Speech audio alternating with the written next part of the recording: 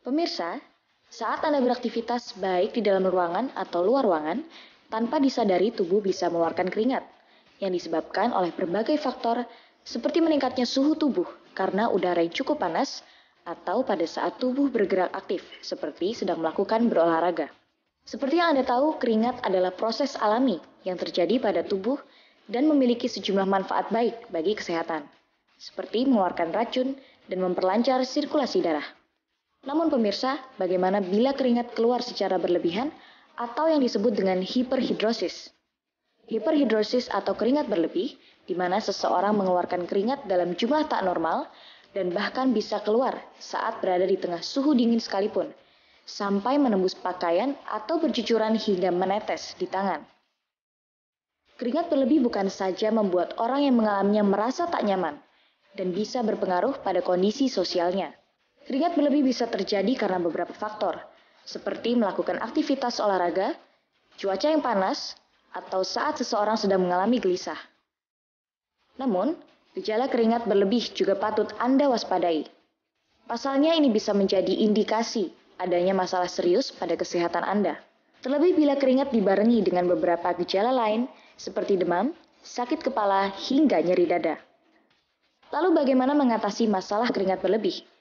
Berikut penjelasan untuk Anda.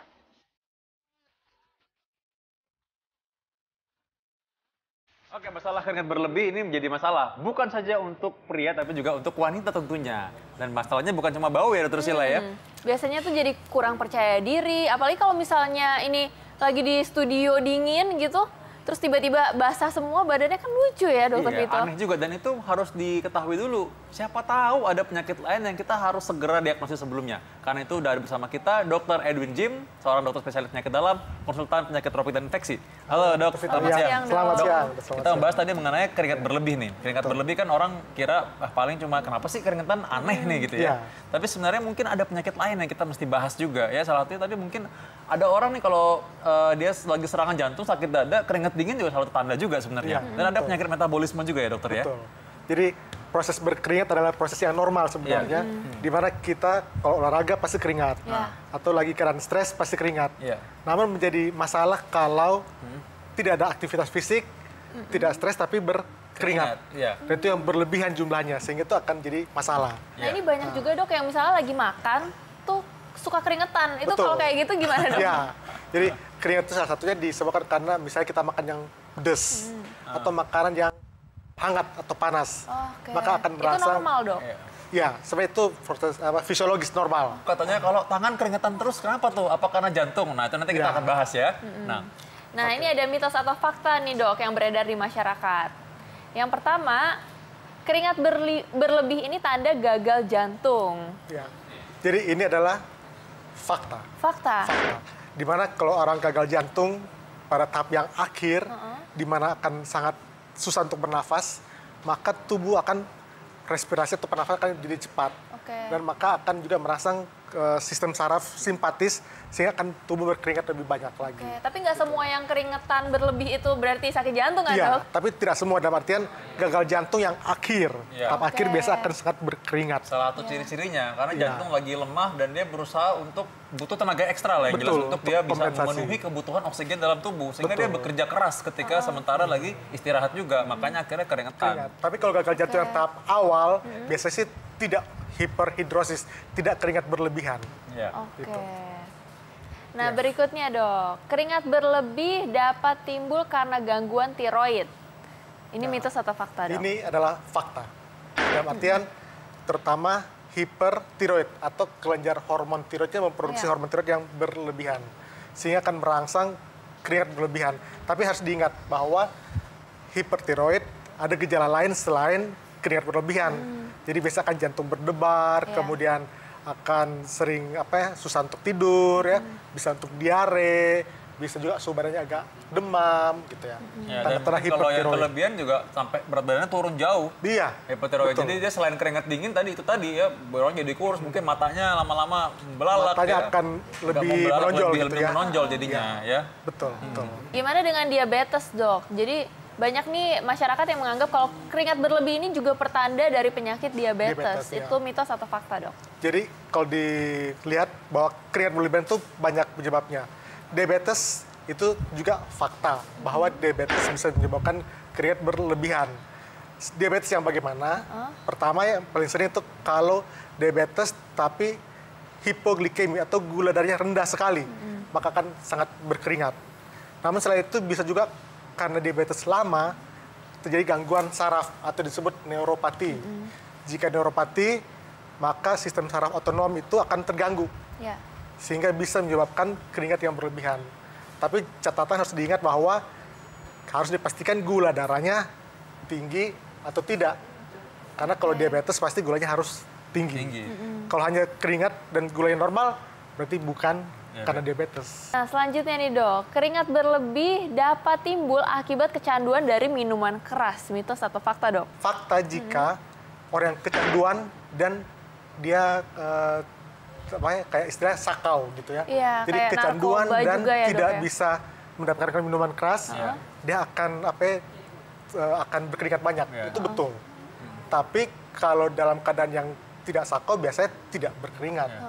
Berarti Kecuali ini kalau untuk peminum yang sakau. sudah berat banget ya, Dok ya? Iya, Atau ini bagian dari proses dia ketika dia nggak dapat minuman itu ya dia gelisah gitu kan. Akan gelisah, Bagian dari proses iya. kegelisahan dia itu. Jadi respon tubuhnya gitu Iya. loh yang begitu ya. Berikutnya nih eh, bahwa keringat ini dapat dipicu karena kehamilan. Jadi keringat berlebih ini dipicu karena kehamilan. Itu Iya. satu fakta. betul. Eh, ini ada mitos ada faktanya. Dalam artian pada kehamilan yang normal biasanya sih tidak akan berkeringat berlebihan. Kalau misalnya udah besar tuh dok kandungannya, biasa tuh ibu-ibu yang Betul. kandungannya besar tuh kayak padahal ruangannya dingin tapi kepanas kepanasan terus bahkan dan banyak banget nih dok sampai potong rambut itu. Iya. Jadi tuh dok? biasanya orang kalau hamil, terutama kalau yang sudah 9 bulan atau 8 bulan menjelang kelahiran, udah sangat besar. Iya. Sehingga dia akan sangat aktivitas fisiknya meningkat. Dalam artian dia jalan ada beban ya, otomatis akan seperti olahraga, akan berkeringat. Dari posisi tidur mau ke ber- mau duduk aja setengah mati. Heeh. Karena Jadi berat jadi kayak olahraga gitu seperti ya olahraga, betul. Oke. Tapi pada orang tertentu bisa juga jadi fakta dalam artian karena hamil gangguan hormonal. Gangguan hormonal itu akan salah satu yang bisa menyebabkan keringat berlebihan. Berikutnya. Fakta atau mitos katanya stroke dapat memicu keringat berlebihan. Jadi adalah fakta tapi tidak pada semua kasus. Jadi ada sebagian kecil kasus di mana gangguan dari sarafnya itu akibat stroke maka menyebabkan gangguan saraf otonomnya sehingga akan berlebihan keringatnya. Namun pada sebagian besar kasus tidak masalah orang stroke tidak menyebabkan keringat berlebihan. Namun pada keadaan tertentu bisa keringat berlebihan. Oke. Tuh. Masih menarik nih. Bagaimana tips bagi orang yang mungkin punya keringat berlebihan nih? Contoh mungkin ini ya. Iya. Ini jadi ada orang mungkin untuk sapu tangan nggak cukup. Jadi harus begini ya, kayak handuk kecil gitu. iya. Bisa diperus nanti keluar gitu banyak nanti isinya ya. ya. Jadi ini kadang orang nggak mesti siap begini. Nah, gimana nih tipsnya untuk orang yang keringat berlebihan gitu, Dok? Jadi kalau orang keringat berlebihan, pertama jangan pakai baju yang terlalu ketat. Karena Ya. kalau terlalu ketat, otomatis sirkulasi ventilasi udaranya akan kurang. Sehingga akan panasnya akan susah untuk keluar ya. Ya. Kemudian ya jangan sampai di suhu udara yang terlalu panas, kan itu kan memicu. Ya. Kalian bisa pakai eh, antiperspiran. Ya banyak dijual di toko-toko ya. Misalnya kayak anti begini, Ya. kita bisa gunakan ini ya, antiperspiran supaya mengurangi produksi dari kelenjar keringat. Oke. Nah, Bisa juga misalnya pakai bedak ya. Oh iya. itu ini. Ya. berarti ini Iya. masyarakat perlu tahu ini bukan cuma sekedar wangi-wangian tapi bisa Bukan. mengurangi produksi keringat juga ya dok ya? Betul. Ini sebenarnya awalnya ini eh, deodoran tapi sekarang sudah ditambah dengan antiperspirannya ya. Iya. Jadi ada wanginya tapi juga mengurangi produksi kelenjar keringat. Oke. Ya, itu sebenarnya antiperspiran itu masyarakat mungkin sebagian masih belum terlalu mengerti. Sebenarnya bedanya apa sama deodoran? Oke.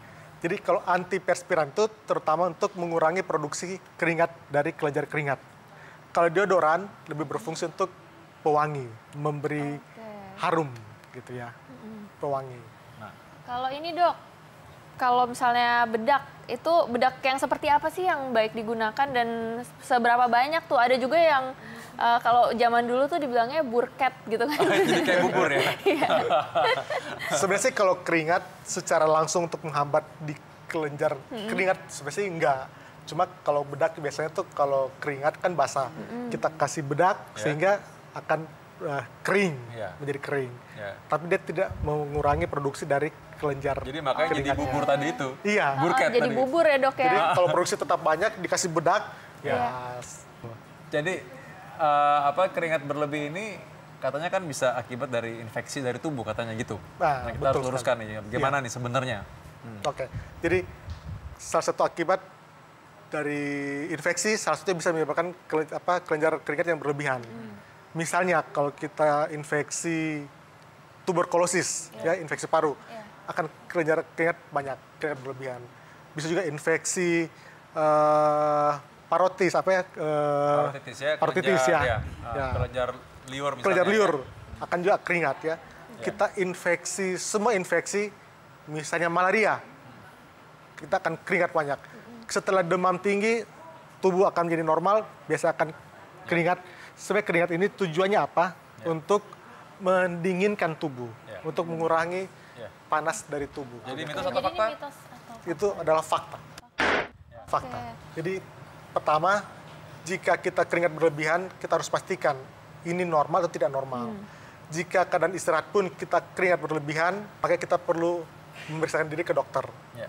Memastikan apakah ada kelainan yang lain atau hanya kelenjar yang produksinya berlebihan. Ya. Kelenjar keringat yang produksinya berlebihan.